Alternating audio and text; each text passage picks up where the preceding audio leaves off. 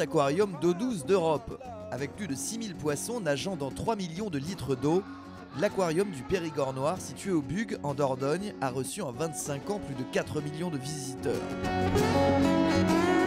Il faut dire qu'ici, on a su se renouveler. L'Iguana Park, par exemple, permet de découvrir plus de 40 espèces de reptiles. Des lézards, des serpents, des tortues ou des iguanes.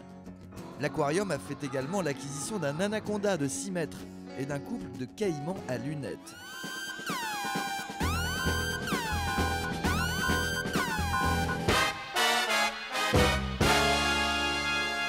Alors voilà, on vous présente donc euh, deux jeunes spécimens de python indien. Ce sont donc des serpents qui peuvent atteindre des bonnes tailles. hein. Les 5-6 mètres sont relativement courants. Mais ce n'est pas le plus grand des pythons. Le plus grand des pythons, en fait, il s'agit bien des pythons réticulés. Et nous avons deux jeunes spécimens qui sont en train de grandir gentiment en présentation. Et avec un spécimen de 9 mètres 40 trouvé du côté de Singapour, eh bien, c'est le maximum en taille pour un serpent. Et ce n'est pas l'anaconda, contrairement à ce qu'on dit et à ce qu'on croit. L'anaconda est certainement le plus lourd, mais ce n'est pas le plus long des serpents.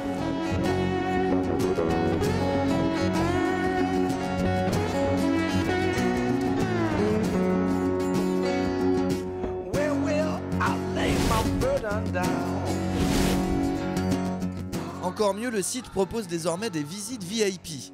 Les visiteurs accompagnés d'un biologiste vont découvrir les coulisses et voir de plus près et en toute sécurité ces espèces fascinantes et mal connues. L'idée était toute simple, euh, nos visiteurs nous demandaient plus, ils demandaient plus d'expérience, ils demandaient plus de, choses à vivre et de choses à vivre derrière les coulisses. C'est comme dans tout aujourd'hui, faire de la qualité, donc euh, on pas, ça ne peut pas être du flux euh, nombreux, c'est que sur réservation.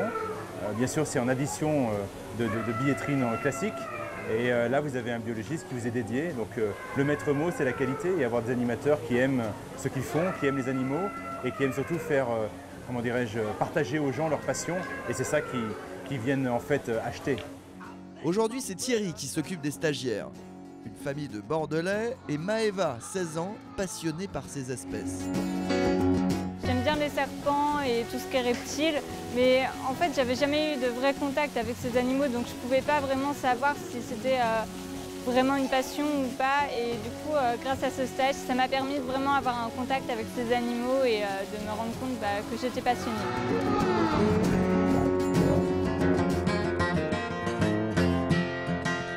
In constant sorrow all through his day. Hey, bienvenue à l'Alligator Park. Ici, vous êtes sur la propriété de Joe McClack, célèbre chasseur d'alligators reconverti en défenseur acharné de la biodiversité. Une véritable immersion dans les bayous de Louisiane pour découvrir les alligators.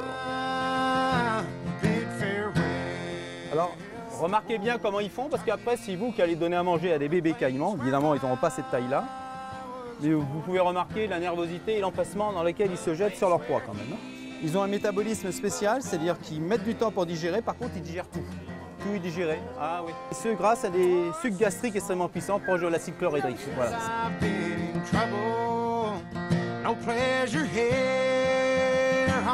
Deux stagiaires, toi et puis euh, vous, monsieur, et on va commencer à leur donner à manger. Et après, on fera euh, chacun un deuxième groupe, d'accord? Girl, I'm bound to ramble. I have no friends to help me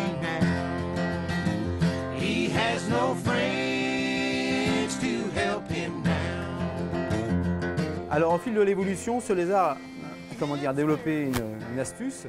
C'est piquant, en fait, c'est pour, euh, comment dire, c'est pour dissuader les serpents essentiellement. Euh, sous l'effet d'un stress, ce lézard peut se gonfler et tous les piquants qui sont sur les côtés vont devenir beaucoup plus saillants. Et ça va être une façon, en fait, de euh, faire en sorte que le serpent renonce à l'attaque. Voilà.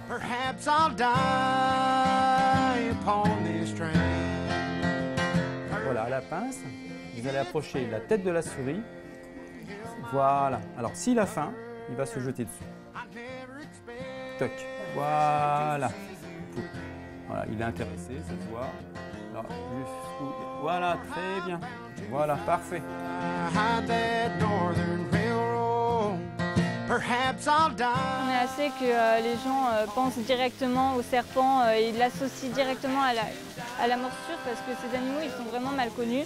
Moi, ma mère m'a toujours, euh, a toujours eu peur des serpents et il y a quelques temps je me suis dit mais en fait pourquoi les gens pensent ça? Et je me suis vraiment renseignée sur l'animal parce que bah, il y a beaucoup d'a priori qui ne sont pas vrais et que bah, du coup bah, j'ai envie de me battre pour que ces, ces clichés eh bah, ils tombent.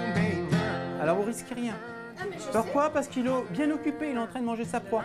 Allez, Soren, on est fort, Soren. voilà, Tu peux, Soren. tu là, voilà, là. Et voyez, c'est moi qui tiens la tête de toute façon dans tous les cas de figure.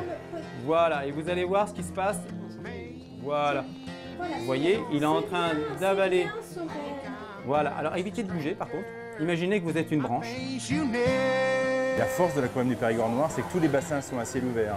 C'est-à-dire que quand vous voyez un bassin, vous voyez exactement ce que vous pourriez voir dans un lac ou dans une rivière. Et donc ça aussi, c'est une grande force que les gens viennent chercher ici.